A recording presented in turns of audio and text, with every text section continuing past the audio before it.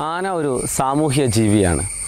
ശരിക്കു പറഞ്ഞാൽ കുടുംബസമേതം ജീവിക്കുന്ന ഒരു കൂട്ടം ജീവികളുടെ ഇനത്തിൽപ്പെടുന്ന ഒന്ന്. നമുക്കറിയാം ആനയിൽ പെണ്ണാനയുണ്ട് ആണാനയുണ്ട് കുട്ടികളുണ്ട് കുടുംബസമേതം സഞ്ചരിക്കുന്ന ആ വലിയ ഗ്രൂപ്പിന് നേതാക്കളുണ്ട്. അത് മാത്രമല്ല വല്ലാത്ത രീതിയിൽ കുടുംബങ്ങൾക്കിടയിൽ ബന്ധം. പാന ആന കുഞ്ഞുങ്ങൾ കൂട്ടിക്കൊണ്ട് നടക്കുന്നത് കണ്ടു കഴിഞ്ഞാൽ നമുക്കറിയാം എത്രമാത്രം സ്നേഹം അവർക്കിടയിലുണ്ടെന്ന്. തള്ളയാന മാത്രമല്ല ആന അതിന്റെ കുഞ്ഞുങ്ങളെ പരിപാലിക്കുമ്പോൾ മറ്റ് വളർത്ത അമ്മമാരും അതിനോടൊപ്പം കാണാറുണ്ട്. ഇങ്ങനെ വലിയ തോതിൽ കാടിന്റെ അകത്ത് വിശാലമായ സ്ഥലങ്ങളിലൂടെ സഞ്ചരിക്കുന്ന ഒരു ജീവിയാണ് ആന. ആനക്കൊരു നിശ്ചിത സഞ്ചാര മാർഗമുണ്ട് അതിനെ നമ്മൾ ആനത്താരകൾ എന്നാണ് വിളിക്കുന്നത്. കേരളത്തിലെ കാടുകളിൽ ഒരുപാട് ആനത്താരകളുണ്ടായിരുന്നു. ആ ആനത്താരകളെല്ലാം ഇന്ന് ഇല്ലാതായിക്കൊണ്ടിരിക്കുന്ന ഒരു പശ്ചാത്തലത്തിലാണ് ഈ ചർച്ച നമ്മളിവിടെ നടത്തുന്നത്. ആനകൾ കൂട്ടം കൂട്ടമായി സഞ്ചരിക്കുന്ന ആനകൾക്ക് ചില വഴികൾ അവർ എത്രയോ വർഷങ്ങൾ കൊണ്ട് ആയിരക്കണക്കിന് വർഷങ്ങൾ കൊണ്ട് നമ്മുടെ മലനിരകളിലൂടെ ഉണ്ടാക്കിയെടുത്തിട്ടുണ്ട്. കേരളം നമുക്കറിയാം പശ്ചിമഘട്ടമാണ് കേരളത്തിന്റെ ജീവനാടി എന്ന് പറയുന്നത്. യഥാർത്ഥത്തിൽ കേരളം മൊത്തം പശ്ചിമഘട്ടം തന്നെയാണ്. തീരനാടെന്നും ഇടനാടെന്നും മലനാടെന്നും ഒക്കെ തിരിക്കുന്നുണ്ടെങ്കിലും പശ്ചിമഘട്ടം തന്നെയാണ് കേരളത്തിന്റെ ജീവൻ. അതിൽ നിന്നാണ് നമ്മുടെ പുഴകൾ ജനിക്കുന്നത് അതിൽ നിന്നാണ് നമുക്ക് ആവശ്യമുള്ള ആഹാരം ലഭിക്കുന്നത്. നമ്മുടെ മഴയുടെ പിന്നൻ ആ കാടുകളാണ്. ആ കാടുകളിലെ ദീർഘകായകന്മാരായ ഈ ആനകൾ ഒരു കാലത്ത് സ്വതന്ത്രമായി സഞ്ചരിച്ചിരുന്നു. അങ്ങനെ സഞ്ചരിച്ചിരുന്ന ആനകളുടെ വഴികളിലൂടെയാണ് ഇന്ന് നമ്മൾ റോഡുകൾ പണിതിരിക്കുന്നത് നമ്മുടെ റിസോർട്ടുകൾ ഉണ്ടാക്കിയിരിക്കുന്നത് നമ്മുടെ ഫാക്ടറികൾ സ്ഥാപിച്ചിരിക്കുന്നത് നമ്മുടെ വിദ്യാലയങ്ങൾ വരെ സ്ഥാപിച്ചിരിക്കുന്നത്. എന്തിനധികം നമ്മുടെ ഒട്ടുമിക്ക പ്രൊജക്റ്റുകളും ഇത്തരത്തിലുള്ള പശ്ചിമഘട്ടത്തിലെ ആനകൾക്ക് തടസ്സമാകുന്ന രീതിയിലാണ്. ഒരു കാലത്ത് ഈ ആനകൾ സഞ്ചരിച്ചിരുന്ന വഴികളിലൂടെയെല്ലാം ഇന്ന് നമ്മൾ സഞ്ചരിക്കുമ്പോൾ ഒരുപാട് കിടങ്ങുകൾ റോഡുകൾക്ക് വേണ്ടി വെട്ടിയിറക്കിയ മലകൾ ഈ വലിയ രീതിയിൽ ഇടിച്ചു നിരത്തിയ വഴികൾ ഇതെല്ലാം നമുക്ക് ഇന്ന് കാണാൻ സാധിക്കും. ഒരിക്കലും ആനക്ക് പഴയതുപോലെ ഇന്ന് സഞ്ചരിക്കാൻ സാധ്യമല്ല. ആന സഞ്ചരിച്ച വഴികൾ നിങ്ങൾക്കറിയോ? കേരളത്തിലെ ഒരു തലക്ക് നിന്ന് മറ്റൊരു തല വരെ നമ്മൾ സഞ്ചരിക്കുകയാണെങ്കിൽ ഒന്നും വേണ്ട പാലക്കാട് ഗ്യാപ്പിൽ നിന്ന് പാലക്കാട് ചുരത്തിലെ വാളയാറിൽ നിന്ന് നമ്മളൊരു വടക്കോ വടക്കൻ യാത്ര നടത്തുകയാണെങ്കിൽ നമ്മൾ അത്ഭുതപ്പെടും. ആനകൾ എത്രമാത്രം ദീർഘ യാത്ര നടത്തിയിരുന്നുവെന്ന്. വാളയാറിൽ നിന്ന് ഒരു ആന കിഴക്കോട്ടേക്കാണ് സഞ്ചരിക്കുന്നതെങ്കിൽ ഇന്നത്തെ നമ്മുടെ മലമ്പുഴ ഡാമിന്റെ സ്ഥാനത്തുള്ള പഴയ കുളത്തിലേതോ പുഴയിലേതോ കുളിച്ച് എലിവാൽ മലയൊക്കെ കയറി ഇറങ്ങി പിന്നെ ശിരുവാണി കാടുകളിൽ ചെന്ന് ശിരുവാണി പുഴയിൽ കുളിച്ച് സാലംവാലി കാടുകളിൽ ചെന്ന് ഭവാനിയും അവിടെയുള്ള കുന്തിയുമെല്ലാം കണ്ട് കുന്തിക്കു മേലെയുള്ള കുന്നുകളിലൊക്കെ കയറി ഇറങ്ങി. അങ്ങനെ സഞ്ചരിച്ച ആനകൾ ഇന്നത്തെ കരിമ്പുഴയിലെത്തി. ചാലിയാറിന്റെ പോഷകപ്പുഴയായ കരിമ്പുഴ കണ്ട് അതിന് മേലെയുള്ള മുക്കുറുത്തി നാഷണൽ പാർക്കിൽ കയറിയിട്ട് ഊട്ടിയൊക്കെ ഒന്ന് കണ്ട് ഊട്ടിക്കും അപ്പുറത്തുള്ള പല മലനിരകളിലൂടെയും സഞ്ചരിച്ച് തൊട്ട് താഴെ അട്ടപ്പാടിയിലേക്ക് ഒന്ന് ഇറങ്ങി വന്ന് ഇങ്ങനെ സഞ്ചരിക്കുന്ന ആനകൾ വേണമെങ്കിൽ വീണ്ടും വടക്കോട്ടേക്ക് പോകാൻ ആഗ്രഹിക്കുന്നുവെങ്കിൽ നിലമ്പൂർ താഴ്വാരം മുഴുവനും സഞ്ചരിച്ച് മുതുമല കയറി ബന്ദിപ്പൂർ കണ്ട് വയനാടൻ കാടുകളിലൂടെ സഞ്ചരിച്ച് വയനാട്ടിലെ തന്നെ ഏറ്റവും ഉയരം കൂടിയ മലനിരകളിൽ ചമ്പ്രയുടെ മേലൊക്കെ ഒന്ന് കയറി ചമ്പ്രയിലെ ആ കുളത്തിലൊക്കെ ഒന്ന് കുളിച്ച് താഴ്ഭാഗത്ത് ഇന്നത്തെ നാഷണൽ ഹൈവേ വയനാട്ടിലേക്കുള്ള താമരശ്ശേരി ചുരം കയറി പോകുന്ന പാതയെല്ലാം മുറിച്ചു കടന്ന് ആ പാതയൊന്നും ഉണ്ടായിക്കൊള്ളണമെന്നില്ല. പൂക്കോട് തടാകത്തിലൊക്കെ ഒന്ന് നീരാടിയിട്ട് സുഗന്ധഗിരി ഒന്ന് ബാണാസുര മലനിരകൾ കയറിയിട്ട് ബാണാസുരക്കപ്പുറത്ത് ബ്രഹ്മഗിരി മലനിരവാരത്തിന്റെ താഴ്ഭാഗത്ത് തിരുനെല്ലി ക്ഷേത്രത്തിന്റെ പരിസരത്ത് കൂടെയൊക്കെ സഞ്ചരിച്ചു പോയിരുന്ന ആനകളാണ് ഇന്ന് ടായിട്ട വട്ടത്തിൽ ഒതുങ്ങിയിരിക്കുന്നത്. ഇവിടെ സമീപകാലത്ത് ആനകൾ ഇറങ്ങി ഏതൊരു സ്ഥലം എടുത്ത് പരിശോധിച്ച് കഴിഞ്ഞാൽ കോഴിക്കോട് മലപ്പുറം ജില്ലയിലെ പ്രധാനപ്പെട്ട ഒരു ആന ഇറങ്ങിയ പ്രശ്നം കാണുന്ന ഒരു സ്ഥലമാണ് തോട്ടുമുക്കം ഓടക്കയം വെറ്റിലപ്പാറ ഭാഗങ്ങൾ. ഇവിടെ ആനയ്ക്ക് എന്താ സംഭവിച്ചത്? ഈ തലമുറ ആരും പറഞ്ഞിരുന്നില്ല ഇവിടെ ആന വന്നതായിട്ട് ആനകൾ നാട്ടിലിറങ്ങിയതായിട്ട്. പക്ഷേ ഈ രണ്ടായിരത്തി പതിനെട്ട് മുതൽ ആനകളുടെ കേളിരംഗമാണ് ആനകളുടെ ഒരു വിഹാരഭൂമിയായിട്ട് ഈ കുന്നുകൾ മാറിയിരിക്കുന്നു. അന്വേഷിച്ചപ്പോൾ ഒരു വലിയ സത്യം ബോധ്യപ്പെടുകയുണ്ടായി. ആനകൾ ഒരു കാലത്ത് സഞ്ചരിച്ചിരുന്ന വഴിയെല്ലാം ഇന്ന് അടഞ്ഞു പോയിരിക്കുന്നു. വന്നിരിക്കുന്ന ഒരു മലയിലേക്ക് കയറിയിരിക്കുന്ന ആനകൾക്ക് തൊട്ടടുത്ത മലയിലേക്ക് പോകാനുള്ള വഴി പോലും തിരിച്ചു പോകാനുള്ള വഴി പോലും വർഷങ്ങൾ കൊണ്ട് അവർ സഞ്ചരിച്ചിരുന്ന പാതകൾ പോലും പെട്ടെന്നില്ലാതായിരിക്കുന്നു. കക്കാടംപൊയിൽ എന്ന് പറയുന്ന ഒരു കുന്നിന്റെ മേലേക്ക് സമീപകാലത്ത് മനുഷ്യരെല്ലാം കയറി. ഊട്ടിയാണ് അതിന് അപ്പുറമാണ് എന്നെല്ലാം പറഞ്ഞ് ടൂറിസ്റ്റ് സെന്ററായി വന്നപ്പോൾ റിസോർട്ടുകൾ ധാരാളം വന്നപ്പോൾ അവിടെ ഫാക്ടറികൾ വന്നപ്പോൾ ജനനിബിഡമായപ്പോൾ അതുവഴി വലിയ റോഡുകൾ വന്നപ്പോൾ. നിലമ്പൂരിൽ നിന്നൊരു റോഡ് വന്നു തോട്ടുമുക്കം ഭാഗത്തു നിന്ന് റോഡ് വന്നു തിരുവമ്പാടി ഭാഗത്തു നിന്ന് റോഡ് വന്നു. മലയുടെ തലപ്പിൽ മനുഷ്യർ ഇടിച്ചു കയറിയപ്പോൾ വെട്ടിയിറക്കിയ മലവാതുകൾ മുറിച്ചു കടക്കാൻ പറ്റാത്ത ആനകൾ. മാത്രമല്ല ഇലക്ട്രിക് ലൈൻ വന്നു. ഇലക്ട്രിക് ലൈൻ വന്നപ്പോഴെന്താ സംഭവിച്ചത്? അതുവരെ ആനകൾ പോയിരുന്ന പറമ്പിന്റെ ഉടമസ്ഥർക്കെല്ലാം ഇലക്ട്രിക് കണക്ഷൻ കിട്ടുന്നു കറണ്ട് കണക്ഷൻ കിട്ടുന്നു. ഉടനെ തന്നെ ഇലക്ട്രിക് വേലികൾ വരുന്നു. ഈ വൈദ്യുതി വേലികളെല്ലാം മുറിച്ചു കടക്കാൻ പറ്റാതെ പതിമൂന്ന് ആനകളാണ് ഈ കക്കാടമ്പലിന് തൊട്ടുപുറത്തുള്ള പെരുന്തുമല എന്ന് പറയുന്ന ഇത്തിരി കാട്ടിന്റെ അകത്ത് കഴിഞ്ഞു കൂടുന്നത് ആനകൾക്ക് എത്ര ആഹാരം വേണം? ഈ ആഹാരം ലഭിക്കാത്ത ആനകൾ പിന്നീട് എന്താ സംഭവിച്ചിരിക്കുന്നത്? ഈ കഴിഞ്ഞ കോഴിക്കോട് ജില്ലയിലെ മലപ്പുറം ജില്ലയിലെയും മലയാള പത്രങ്ങൾ എടുത്ത് പരിശോധിച്ച് കഴിഞ്ഞാൽ ആനകളെ കൊണ്ട് പൊറുതി മുട്ടിയ ആ കാനനവാസികളെയും നാട്ടുകാരെയും കാണാൻ സാധിക്കും. പട്ടിണി കിടക്കുന്ന ആനകളാണ് യഥാർത്ഥത്തിൽ ആ കുന്നുകളിലുള്ളത്. ആയിരക്കണക്കിന് കിലോമീറ്ററുകൾ സഞ്ചരിക്കാൻ ശേഷിയുണ്ടായിരുന്ന ആനകൾ ഇന്ന് ഏതാനും കിലോമീറ്ററുകൾക്കുള്ളിൽ തളക്കപ്പെട്ടിരിക്കുന്നു പണ്ട് കടന്നു വന്നിരുന്ന വഴികളിലൂടെ മുറിച്ചു കടക്കാൻ പറ്റാതിരിക്കുന്നു. ഇങ്ങനെ മുറിച്ചു കടക്കാനാവാതെ റോഡുകൾ പോലും ക്രോസ് ചെയ്യാൻ ആവാതെ അത്രയേറെ ഭീകരമായ രീതിയിൽ ഇടിച്ചിറക്കപ്പെട്ട കാട്ടുവഴികളാണ് ഇന്ന് ആനകൾക്ക് തടസ്സമായിരിക്കുന്നത്. ഈ വഴികൾ എങ്ങനെ മുറിച്ചു കടക്കും? ഈ വൈദ്യുതി വേലികൾ എങ്ങനെ തകർത്ത് മുന്നോട്ട് പോകും? ഇവിടെ നിന്ന് പന്തിരായിരം വനത്തിലേക്ക് പോകാൻ ആഗ്രഹിച്ച ആനകളാണ് ഇന്ന് ഈ ഒരു കുന്നിൻ ചെരുവിൽ താമസിക്കുന്നത്. ഈ ആനകളുടെ ശല്യമാണ് യഥാർത്ഥത്തിൽ നാട്ടുകാർക്ക് ഇന്ന് ഏറ്റവും വലിയ ഭീതിയുള്ള ഒരു കാര്യമായി തീർന്നിരിക്കുന്നത്.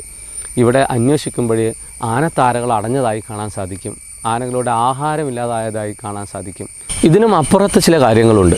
ഉദാഹരണത്തിന് നാട് കാണിച്ചുരം കേരളത്തിലെ ആനത്താരകളുടെ ഒരു പ്രധാന കേന്ദ്രമായിരുന്നു നാട് കാണിച്ചുരം ആനമറി ചെക്ക് പോസ്റ്റ് മുതൽ നാടുകാണി വരെ ആനകളുടെ ഏറ്റവും പ്രിയപ്പെട്ട ഇടങ്ങളായിരുന്നു. സമീപകാലത്ത് നമ്മുടെ സർക്കാർ നാട് കാണിച്ചുരം നവീകരിച്ചു. നവീകരണത്തിന്റെ പാത നവീകരണത്തിന്റെ ആ ഒരു വഴിയിലൂടെ നിങ്ങൾ സഞ്ചരിച്ചാൽ ഇപ്പോൾ കാണാം റോഡ് നിറയെ ആനകളാണ്. ഞാൻ ഒരിക്കൽ ആ വഴി സഞ്ചരിക്കുമ്പോൾ ആനകളുടെ ആനകൾ റോഡിലിറങ്ങിയ ആനകൾ താഴേക്ക് ഇറങ്ങി പോകാനുള്ള വഴി തിരഞ്ഞ് നടക്കുകയാണ്. അത്രയ്ക്കും ഉയരത്തിലാണ് കെട്ടിപ്പൊക്കിയിരിക്കുന്നത്. കോൺക്രീറ്റിന്റെ വലിയൊരു മതിൽ കെട്ടി മേൽഭാഗവും താഴ്ഭാഗവും നമുക്ക് റോഡിന് വേണ്ടി ഉണ്ടാക്കിയപ്പോൾ ആനകൾക്ക് താഴേക്ക് ഇറങ്ങിപ്പോകാൻ പറ്റുന്നില്ല. ഈ നെൽ നിലമ്പൂരിന്റെ മേൽഭാഗങ്ങളിൽ നിന്ന് ചാലിയാറിന്റെ തടങ്ങളിലേക്ക് ഇറങ്ങി വരുന്ന താഴ്വാരങ്ങളിലേക്ക് ഇറങ്ങി വരുന്ന ആനകൾക്കിപ്പോൾ സുഗമമായി സഞ്ചരിക്കാൻ പറ്റാത്ത രീതിയിലാണ് നമ്മൾ കോടികൾ മുടക്കി ഈ നവീകരണം നടത്തിയിരിക്കുന്നത്. ഒരുപാട് ആനത്താരകൾ പതിമൂന്നോളം ആനത്താരകളുള്ള പാതയിൽ നവീകരണം കഴിഞ്ഞതിന് ശേഷമാണ് നമ്മൾ ആലോചിച്ചത് ആനകൾ ഇങ്ങനെ റോഡിലിറങ്ങി കുടുങ്ങിയപ്പോൾ. വാഹനം കടന്നു വരുമ്പോഴേ ലോറിക്കാർക്ക് യാതൊരു തരത്തിലുള്ള പേടിയുമില്ല ആനകളെ. അവർ ഹോൺ അടിക്കുന്നു ഞാനിത് നേരിട്ട് കാണുന്നു. അവർ ഹോൺ അടിക്കുന്നു എന്റെ തൊട്ട് മുമ്പിലുള്ള ലോറിയിന്റെ മുമ്പിലാണ് ഒരു ആനക്കൂട്ടുള്ളത് കുട്ടിയുണ്ട്. തള്ളയാനയുണ്ട്. മറ്റു ചില ആനകളെല്ലാം ചേർന്ന് അഞ്ചെട്ട് ആനകൾ ചേർന്ന് റോഡിലിറങ്ങുന്നു.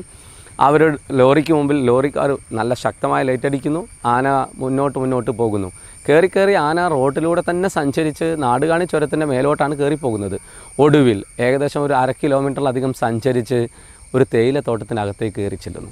ഈ തേയിലത്തോട്ടത്തിന്റെ അകത്തേക്ക് കയറി ചെല്ലുന്നതോടുകൂടി പിന്നെ അത് നാട്ടിലിറങ്ങുന്നു എന്ന വാർത്തയാണ് പിറ്റേ ദിവസം നമ്മൾ വായിക്കുന്നത് കേൾക്കുന്നത്.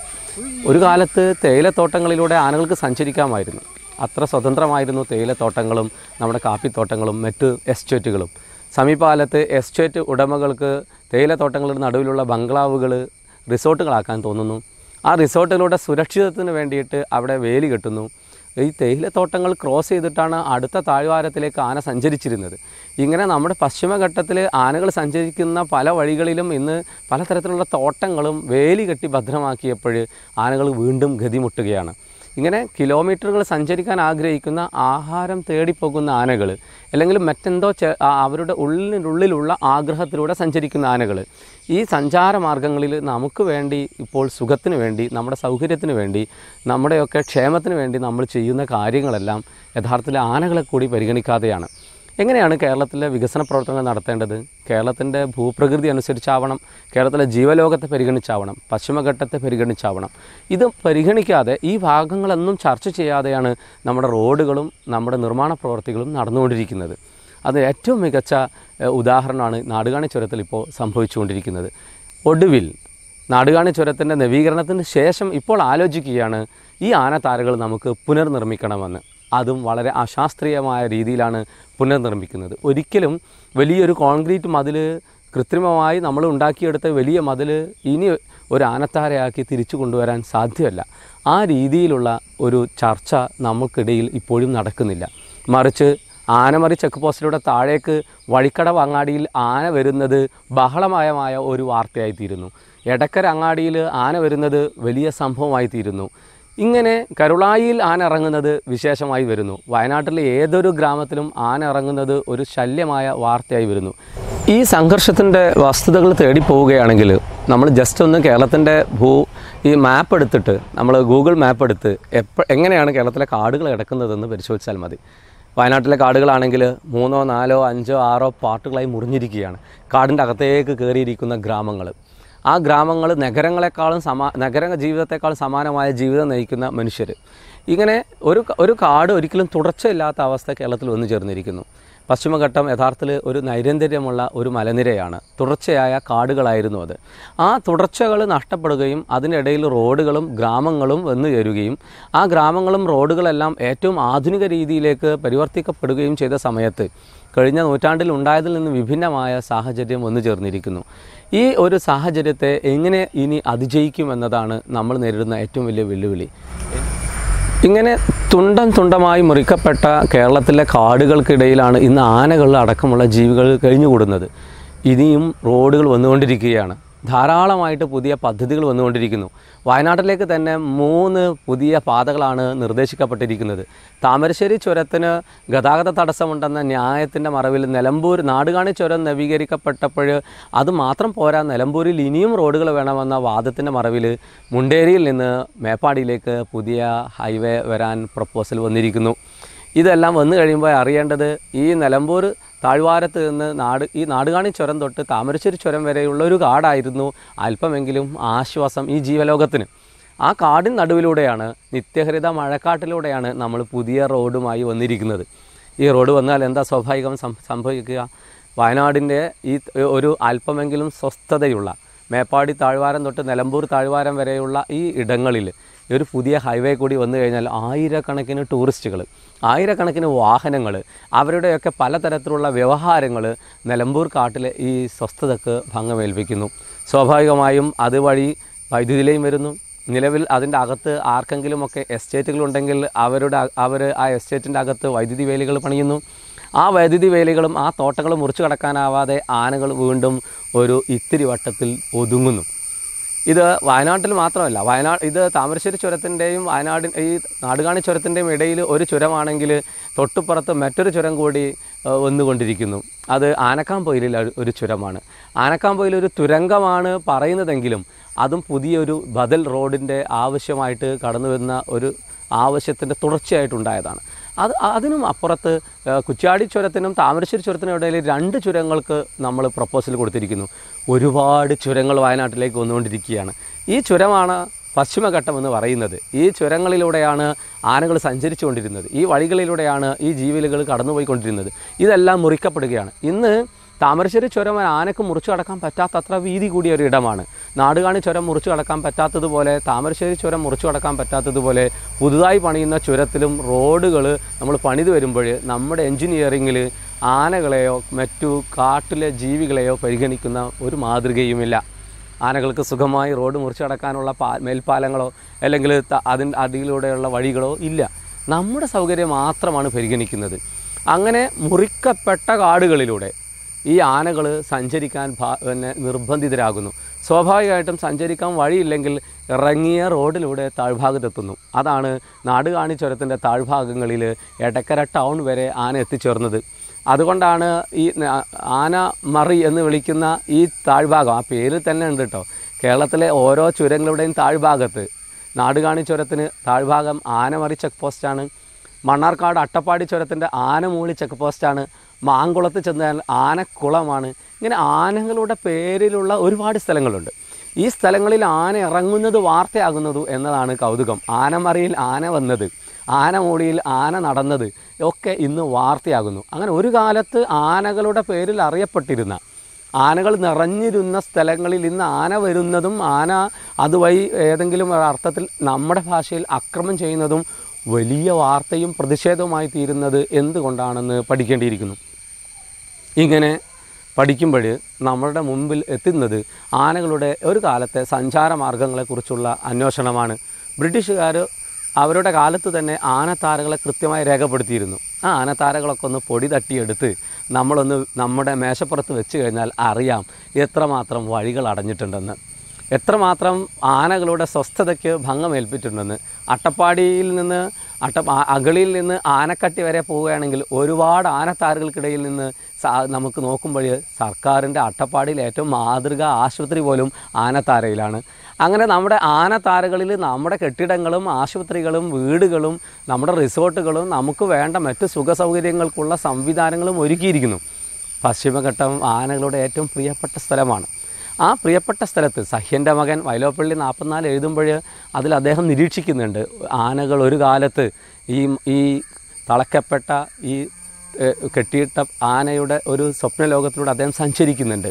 എത്രമാത്രം സുന്ദരമായിരുന്നു ആ കാലമെന്ന്. നമുക്ക് ആ കാലത്തൂടെ ഒന്ന് സഞ്ചരിക്കാം. അട്ടപ്പാടിയുടെ തൊട്ടപ്പുറത്ത് ഈ പാലക്കാട് ചുരത്തിന്റെ താഴ്ഭാഗത്ത് നിന്ന് വാളയാറിൽ നിന്ന് ഒരു ആനയ്ക്ക് കിഴക്കോട്ടേക്കാണ് പോകണമെന്ന് തോന്നുന്നതെങ്കിൽ എത്ര സുഖമായിരുന്നു അന്നത്തെ യാത്ര.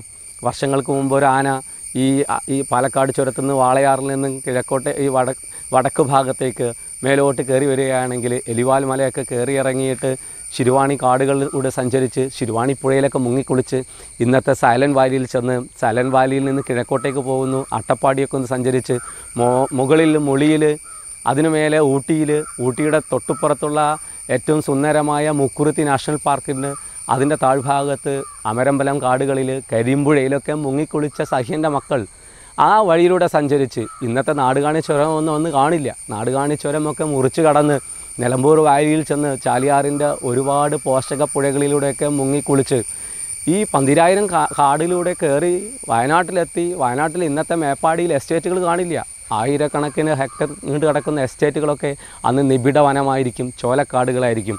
അങ്ങനെ വയനാട്ടിലെ സുന്ദരമായ കുന്നുകളെല്ലാം കയറി ചെമ്പ്ര മലയുടെ മുകളിൽ നിന്ന് ഒന്ന് താഴോട്ട് നോക്കി. അതീവ സുന്ദരമായ പൂക്കോട് തടാകമൊക്കെ ഒന്ന് കണ്ട് വേണമെങ്കിൽ അവിടെ ഒന്ന് കുളിച്ച്. തൊട്ടപ്പുറത്ത് സുഗന്ധഗിരി കയറി. ബ്രാ ഈ അതിനും അപ്പുറത്ത് അതീവ സുന്ദരമായ ബ്രഹ്മഗിരി മലനിരകളിലേക്ക്. അതിനിടയിൽ ബാണാസുര. ബാണാസുരയ്ക്ക് അപ്പുറത്ത് കുറ്റ്യാടിപ്പുഴ. ഈ കുറ്റ്യാടിപ്പുഴയ്ക്ക് അപ്പുറത്ത് കക്കയം. കക്കയത്തിന്റെയും കുച്ചാടിപ്പുഴയുടെയും ഒക്കെ തീരങ്ങളിലൂടെ സഞ്ചരിച്ച് മതിച്ചു കള കളിച്ചു നടന്നിരുന്ന ആനയും ആനയുടെ കൂട്ടവും അങ്ങനെ സഞ്ചരിച്ച് വർഷങ്ങൾ നീണ്ട യാത്ര പശ്ചിമഘട്ടത്തിന്റെ തലപ്പിലൂടെ നടത്തിക്കൊണ്ടിരുന്നവരാണ് ഇന്ന് നമ്മൾ ഒരുക്കുന്ന ഈ ഒരു മൃഗശാലയ്ക്ക് സമാനമായ ഇത്തിരി കുഞ്ഞൻ കാടിന്റെ അകത്ത് കഴിഞ്ഞു കൂടുന്നതെന്ന് ആലോചിക്കുമ്പോഴാണ് അതിന്റെ ഭീകരത നമുക്ക് ബോധ്യമാവുന്നത് ആ ആനകളോടാണ് നമ്മൾ പറയുന്നത് ഈ ചെരുവിൽ താമസിച്ചോളൂ. ഈ കുന്ന് നിങ്ങൾക്കുള്ളതാണ്. ഇതാണ് ജണ്ട ഇതിന്റെ അകത്ത് കഴിഞ്ഞു കൂടണം ഇതിന്റെ അകത്ത് ആഹാരം കഴിക്കണം. നിനക്ക് പ്രായമായാൽ പുല്ലാണ് ആഹാരമെന്ന് എനിക്കറിയാം. പക്ഷേ നീ പുല്ല് കഴിക്കാൻ എന്റെ നാട്ടിലേക്ക് ഇറങ്ങരുത്. അത് ഞങ്ങളിപ്പോൾ പട്ടയം വാങ്ങി സ്വന്തമാക്കിയിരിക്കുന്നു. അവിടെ ഞങ്ങൾ വാഴക്കൃഷി വെച്ചിരിക്കുന്നു. അവിടെ ഞങ്ങളുടെ തോട്ടങ്ങളാണ്. നീ തോട്ടങ്ങളിലേക്ക് ഇറങ്ങരുത്. ഞങ്ങളുടെ റങ്ങാടികളാണ് അവിടെ വികസിച്ചുകൊണ്ടിരിക്കുന്നത്. പുഴയിൽ നിനക്ക് നീരാടണം. ഞങ്ങൾക്കറിയാം അത്. പക്ഷേ ആ പുഴയിൽ ഇറങ്ങി കളിച്ചാൽ വിവരം അറിയും കാരണം ആ പുഴയുടെ തീരങ്ങളിൽ ഞങ്ങൾ താമസിക്കുന്നു. അങ്ങനെ വെള്ളമില്ലാത്ത കാലത്ത് കൊടിയ വേനലിൽ അവർ ഒരു കാലത്ത് സഞ്ചരിച്ചിരുന്ന വഴിയിലൂടെ അവർ വീണ്ടും സഞ്ചരിക്കാൻ ആഗ്രഹിക്കുമ്പോൾ അപ്പോഴാണ് തിരിച്ചറിയുന്നത് അവിടെ ഇലക്ട്രിക് ഫെൻസിങ് വന്നിരിക്കുന്നു. നല്ല വേലിയുണ്ട്. ആ വേലിയെല്ലാം പൊളിച്ച് ഈ വഴി തേടി പുഴയിലിറങ്ങി ഒന്ന് നീരാടാൻ വരുന്ന ആനകളാണ് ഇന്ന് വാർത്തയാകുന്നത്. അപ്പോഴാണ് അവർ ജീപ്പിന് തട്ടുന്നത്. അപ്പോഴാണ് അവർ നമ്മെ തട്ടി കൊന്ന് എന്ന് നമ്മൾ വിളിക്കുന്ന നമ്മയുമായിട്ടുള്ള സംഘർഷങ്ങളിലേക്ക് എത്തിച്ചേരുന്നത്. ഇങ്ങനെ കൊലയാളി ആനകളുണ്ടാകുന്നു. ആനകളുടെ സ്വഭാവത്തിൽ മാറ്റം വന്നിരിക്കുന്നു. ഈ സ്വഭാവത്തിൽ വരുന്ന മാറ്റം യഥാർത്ഥത്തിൽ ആനകളുടെ ജീവിതം എടുത്ത് പരിശോധിച്ചാൽ അമ്മയ്ക്കൊപ്പം കഴിഞ്ഞുകൂടുന്ന കാലമുണ്ട്. ഒരു പക്ഷേ മനുഷ്യനിൽ നിന്ന് വിഭിന്നമായി പത്തെഴുപത് വർഷം ജീവിക്കുന്നുവെങ്കിലും നമ്മൾ നമ്മുടെ കുഞ്ഞുങ്ങളെ പരിപാലിക്കുന്നതിനേക്കാൾ കൂടുതൽ അമ്മയ്ക്കൊപ്പം വളർത്തമ്മമാർക്കൊപ്പം ഒരമ്മ മാത്രമല്ല ഒരു കൂട്ടം വളർത്തമ്മമാരുമുണ്ട്. ആ വളർത്തമ്മമാർക്കൊപ്പം ഒരുപാട് കഥകൾ മനസ്സിലാക്കിയിട്ട് തന്റെ തുമ്പിക്ക എങ്ങനെയാണ് ഉപയോഗിക്കേണ്ടത് എന്ന് വരെ നോക്കി പഠിക്കുകയാണ് മുതിർന്ന ആനകളെ. ഇങ്ങനെ നോക്കി പഠിച്ച് ചുറ്റുമുള്ളതിനെയൊക്കെ നിരീക്ഷിച്ച് വലുതായി വന്നിരുന്ന ആനകൾക്ക് ഇന്ന് അതിന് സാഹചര്യമില്ല. അതിനു മുമ്പ് ചിന്ന ഭിന്നമായി പോകുന്ന ഈ കൂട്ടം പലതും വഴിതെറ്റുന്നു. പല വഴിയെ മാറിപ്പോകുന്നു. ഇങ്ങനെ തങ്ങളുടെ സ്വാഭാവികമായ ജീവിത വഴികളെല്ലാം വ്യത്യസ്തമാകുന്ന ഒരു തരത്തിലേക്ക് വന്നപ്പോഴേ ആനകളുടെ സ്വഭാവത്തിൽ മാറ്റം വരുന്നു. കൊമ്പന്മാർ കൂട്ടം ചേരുന്നു. വയനാട്ടിലെ കാഴ്ചയാണ് ഒരു കൊമ്പന്മാർ പൊതുവെ കൂട്ടം കൂടാറില്ല. പക്ഷെ കൊമ്പന്മാർ നാനാഭാഗങ്ങളിൽ സംഘടിച്ച് കൃഷിയിടങ്ങളിലേക്ക് ഇറങ്ങുന്നു. ഈ മാറ്റത്തെയാണ് നമ്മൾ ഭയപ്പെടേണ്ടത്. ഈ മാറ്റത്തെയാണ് ഇല്ലാതാക്കേണ്ടത്. ആനകൾക്ക് അവരുടെ സ്വാഭാവികമായ അവസ്ഥയിലേക്ക് തിരിച്ചു പോകാനുള്ള സാഹചര്യം ഒരുക്കേണ്ടതുണ്ട്. ധാരാളമായിട്ട് സഞ്ചരിക്കുന്ന ഒരു ജീവിയാണ് ആന. കിലോമീറ്ററുകൾ അത് സഞ്ചരിക്കും. ഇങ്ങനെ സഞ്ചരിക്കുന്ന വഴിയിൽ കണ്ടതെല്ലാം ആഹരിക്കും. അതിൽ വ്യത്യസ്തമായ ആഹാരങ്ങൾ ഉണ്ടായിരിക്കണം എന്നത് നിർബന്ധമാണ്. ഒരേ നാട്ടിലെ പോലെ ഒരു പന മാത്രം തിന്നുന്നതല്ലല്ലോ കാട്ടിലെ ആനകൾ വ്യത്യസ്തമായ ആവാസ വ്യവസ്ഥയിലൂടെ സഞ്ചരിച്ച് ഒരുപാട് ചില്ലകൾ പൊട്ടിച്ചെടുത്ത് ആഹരിച്ച് ഇങ്ങനെ മുളങ്കാടുകളിലും പുൽമേടുകളിലും വയലോ അതിൽ അതിന്റെ അകത്തുള്ള കാടിന്റെ അകത്തുള്ള വയലുകളിലും ചതുപ്പുകളിലും ഇറങ്ങി മലമുകളിലൂടെ കയറി ഇറങ്ങി സഞ്ചരിക്കുന്ന ആനകളുടെ ഈ വഴിയിൽ ഇന്ന് പലതരത്തിലുള്ള തടസ്സങ്ങൾ വന്നു ചേർന്നിരിക്കുന്നു. ആ തടസ്സങ്ങൾ ഓരോന്നെടുത്ത് പരിശോധിക്കുമ്പോൾ നമുക്ക് മനസ്സിലാക്കാൻ പറ്റും ആനകൾ എന്തുകൊണ്ട് നാട്ടിലിറങ്ങുന്നു എന്ന്. മാത്രമല്ല പലപ്പോഴും ഈ കാടിന്റെ അതിർത്തി എന്ന് പറയുന്നത് നമ്മൾ ഒരു സർവേ അല്ലെങ്കിൽ ഒരു ജണ്ട കാണുന്നു. അവിടെയാണ് കാടിന്റെ അതിർത്തിയായിട്ട് നമ്മൾ നിശ്ചയിച്ചിരിക്കുന്നത്. യഥാർത്ഥത്തിൽ കാട്ടിൽ താമസിക്കുന്ന ആനയ്ക്ക് ഇതൊരു അതിർത്തിയല്ല. നമുക്ക് പട്ടയം കിട്ടി എന്നതുകൊണ്ട് ആനയ്ക്ക് അത് കാടാകാതിരിക്കുന്നില്ല. അങ്ങനെ ഈ പട്ടയം കിട്ടിയ ഭൂമിയിൽ നമുക്ക് കേരളത്തിൽ എഴുപതുകൾക്ക് ശേഷം സമീപകാലത്ത് വരെ വ്യാപകമായ പട്ടയ വിതരണ മേളകളുണ്ടായിരുന്നു. ഈ മേളകളിലൂടെ കിട്ടിയിരിക്കുന്ന പലതും കാടിനോട് ചേർന്ന സ്ഥലങ്ങളോ ഒരു കാലത്ത് കാടായിരുന്ന സ്ഥലങ്ങളോ ആണ് പലതരത്തിലുള്ള നിയമത്തിന്റെ ലൂപ്പ് ഹോളുകളിലൂടെ സഞ്ചരിച്ച് മനുഷ്യന്റെ സാമർഥ്യം കൊണ്ട് കൗശലം കൊണ്ട് കിട്ടിയെടുത്ത ഇത്തരം ഭൂമികളിലെല്ലാം പലതരത്തിലുള്ള കൃഷികൾ വന്നു ചേർന്നു. പ്രധാനമായിട്ടും ആനയ്ക്ക് ഏറ്റവും ഇഷ്ടപ്പെട്ട വാഴക്കൃഷി കവുങ്ങ് കൃഷി. ഇതെല്ലാം ഇത്തരത്തിലുള്ള ആനയ്ക്കൊന്ന് ആഹരിക്കാൻ തോന്നുന്നു എന്ന് കരുതുന്നത് ആ- ജണ്ടയുടെ അതിർത്തി വരെയുള്ള സ്ഥലങ്ങളിൽ വേലിയുണ്ട് എന്ന ഫലത്തിൽ നമ്മൾ കൃഷി ചെയ്ത് തുടങ്ങിയപ്പോഴേ അവിടെ പ്ലാവ് വന്നു ചേർന്നു. നമ്മുടെയൊക്കെ പലതരത്തിലുള്ള ആകർഷകമായ ആനക്ക് പറ്റുന്ന പലതരത്തിലുള്ള ഫലങ്ങൾ അവിടെ വന്നു ചേർന്നു. ഇതെല്ലാം കാണുന്ന സ്ഥിതിക്ക് ആനകൾ നമ്മുടെ ഇടങ്ങളിലേക്ക് കയറി വന്നു. ഇങ്ങനെ വേലി കെട്ടിപ്പെട്ട് തളക്കപ്പെട്ട ഒരിടമാണ് കേരളത്തിലെ കാടുകളെന്ന് നമ്മൾ ആഗ്രഹിക്കുകയാണ്. അങ്ങനെ ആഗ്രഹിക്കുന്നതിന് ഫലമായിട്ട് നിരന്തരമായി ഈ വേലിയോട് ചേർന്നിരിക്കുന്ന സ്ഥലങ്ങളിൽ എപ്പോഴും സംഘർഷങ്ങൾ നടക്കുന്നു. ആനകളെ പടക്കം പൊട്ടിച്ച് കാടിന്റെ അകത്തേക്ക് കയറ്റിവിടുന്നു ചിലപ്പോഴെല്ലാം നമ്മൾ നമ്മൾ ഉണ്ടാക്കുന്ന ഭീകരമായ അന്തരീക്ഷത്തിൽ ഭയപ്പെട്ട ആനകൾ തിരിച്ചു പോകുന്നു. വീണ്ടും രാത്രിയുടെ യാമങ്ങളിൽ ആനകൾ ആഹാരം തേടി ഈ സ്ഥലങ്ങളിൽ വരുന്നു. പുതിയ തലമുറയിൽപ്പെട്ട ആനകൾ ഒരു ബിഹേവിയറൽ ചേഞ്ചസിന് സ്വാഭാവികമായും വിധേയമായിട്ടുണ്ടാകും. കേരളത്തിലെ മനുഷ്യവാസമുള്ള സ്ഥലങ്ങളിൽ ഒരുപാട് മനുഷ്യർ താമസിക്കുന്ന സ്ഥലങ്ങളിലാണ് കാടുകളും നിൽക്കുന്നത്. കാടും നാടും ചേർന്ന് നിൽക്കുന്ന ഒരു ഭൂപ്രകൃതിയാണ് കേരളത്തിന്. ഈ നാടും കാടും ചേർന്ന് നിൽക്കുന്ന ഒരു ഭൂപ്രകൃതിയിൽ എങ്ങനെയാണ് നമ്മൾ ജീവിക്കേണ്ടത് എന്നതിനെക്കുറിച്ച് ഇപ്പോഴും ചർച്ച നടക്കുന്നില്ല. നഗരത്തിൽ താമസിക്കുന്നവരെ പോലെ കോഴിക്കോട് സിറ്റിയിലും കൊച്ചി സിറ്റിയിലും ബാംഗ്ലൂരിലും താമസിക്കുന്നവരെ പോലെ തന്നെയാണ് നമ്മൾ കാനനവാസികളും താമസിക്കാൻ ആഗ്രഹിക്കുന്നത്. അതൊരു കുഴപ്പമൊന്നുമല്ല. നമ്മുടെ സുഖ സൗകര്യങ്ങൾ മനുഷ്യൻ ആഗ്രഹിക്കേണ്ടതാണ് അത് നമുക്ക് ആവശ്യവുമുണ്ട്. പക്ഷേ അടിസ്ഥാനമായ കാര്യം ഈ സുഖ സൗകര്യങ്ങൾ നിലനിർത്തി തരുന്ന കാടിനെ കൂടി നിലനിർത്തുക എന്നുള്ള ബാധ്യത നമുക്കുണ്ട് എന്നത് പലപ്പോഴും നമ്മൾ മറക്കുന്നു. ഈ കാട് കാടായി നിലനിൽക്കണമെങ്കിൽ കാനന കാടിന്റെ സ്വാഭാവികമായ അവസ്ഥ കൂടി നിലനിൽക്കണം. എങ്കിൽ മാത്രമാണ് വെറും ഒരു മരം ഒരു മരച്ചില്ലകൾ അല്ലെങ്കിൽ ഒരു റബ്ബർ തോട്ടം അല്ലെങ്കിൽ ഒരു കവിങ്ങിൻ തോപ്പ് ഒരു മാവിൻ തോപ്പ് ഒരു കാടല്ല. അപ്പോൾ ഒരു ജൈവ വൈവിധ്യമുള്ള ഒരു ഇടമാണ് കാട്. ആ കാട്ടിൽ നിന്ന് മാത്രമാണ് പുഴകൾ ജനിക്കുക. ആ കാട്ടിൽ നിന്ന് മാത്രമാണ് ഉറവകൾ ഉണ്ടാവുക. അത്തരം കാടിന്റെ അകത്ത് സ്വാഭാവികമായും ജീവലോകത്തിന്റെ സാന്നിധ്യം ഉണ്ടാവും. അപ്പോൾ ഈ ജീവലോകത്തെ കൂടി എങ്ങനെ പരിഗണിച്ച് അതിനോട് സഹവസിച്ച് എങ്ങനെയാണ് കഴിയേണ്ടത് എന്നതിനെക്കുറിച്ചുള്ള ചർച്ചകൾ കേരളത്തിൽ നടക്കേണ്ടതുണ്ട്. ലോകത്തെ പല ഭാഗങ്ങളിലും ആനകളുള്ള വന്യമൃഗങ്ങളുള്ള കാടിനോട് ചേർന്ന് നിൽക്കുന്ന സമൂഹങ്ങൾ ഇപ്പോഴും സംഘർഷത്തിലല്ല. ഭൂരിപക്ഷം സ്ഥലങ്ങളിലും സംഘർഷങ്ങളില്ല. പക്ഷേ നിർഭാഗ്യവശാൽ കേരളത്തിൽ മനുഷ്യനും ആനകളും തമ്മിൽ അല്ലെങ്കിൽ മനുഷ്യനും കാട്ടിലെ ജീവികളും തമ്മിൽ നിരന്തരമായ സംഘർഷത്തിൽ ഏർപ്പെടുന്നത് എന്തുകൊണ്ടെന്ന് ഇനിയും പഠിക്കേണ്ടിയിരിക്കുന്നു. ആനകൾ അതുപോലെ മറ്റു വന്യജീവികൾ ഇങ്ങനെ നമ്മുടെ ഇടയിലേക്കൊരു ശല്യമായി കടന്നു വരുന്നതിന്റെ കാരണങ്ങളപ്പോൾ പ്രധാനമായും നമ്മൾ തന്നെയാണ്. നമ്മുടെ റോഡുകൾ നമ്മളുണ്ടാക്കുന്ന വഴികൾ നമ്മുടെ സൗകര്യത്തിന് നമ്മളുണ്ടാക്കിയ മാപ്പുകൾ നമ്മുടെ പട്ടയ വിതരണങ്ങൾ എല്ലാത്തിനും ഉപരി നമ്മുടെ ടൂറിസ്റ്റുകളുടെ സമീപനങ്ങൾ യഥാ ആനകളെ കാണണമെന്ന് ആഗ്രഹിക്കുന്നു എന്ന എല്ലാ ടൂറിസ്റ്റ് സങ്കേതങ്ങൾക്കും അറിയാം. ഉടനെ തന്നെ ആന ഇറങ്ങിയ വാർത്ത അവർ സൃഷ്ടിക്കുന്നു. മൂന്നാറിൽ അതാ സംഭവിച്ചത്. സമീപകാലങ്ങളിൽ മൂന്നാറിലെ ഏതോ പുൽമേട്ടിന്റെ ചെരുവിൽ ഒരു ആന വന്നു കഴിഞ്ഞാൽ ഉടനെ തന്നെ അത് വാർത്തയാകുന്നു. വാട്സപ്പിലും ഫേസ്ബുക്കിലും സന്ദേശങ്ങൾ പ്രവഹിക്കുന്നു. ഒരുപാട് മനുഷ്യർ ഈ ആനകളെ ഇറങ്ങിയത് കാണാൻ ചെല്ലുന്നു.